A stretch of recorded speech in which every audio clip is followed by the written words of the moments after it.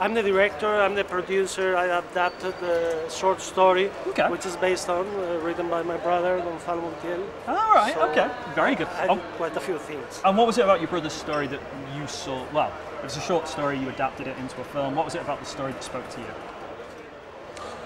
It was Conradian. Conradian is that, is Yeah, that a word? You, Yeah, you- I think I know what you mean.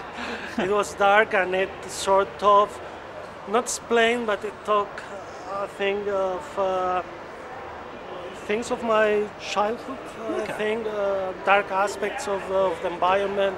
I come from an industrial city in the Mediterranean, in an environment mainly uh, not so industrial, so it's like an isle Yeah. in the Mediterranean side of Spain. Okay. So it's a particular culture. So Right. Okay, that's interesting. And when you told, presumably you told your brother, "I'd like to adapt your short story." What was his initial reaction? Well, he was so happy, you know. He he. but afterwards, we started working on it, uh, um, and, and then he he passed. Uh, Oh, sure. He died. So I made a point on on on adapting and making it happen, you know. Right, yeah. Because I'm I've made a lot of television, Yes. but uh, this is an opera prima, first time with uh, with feature film.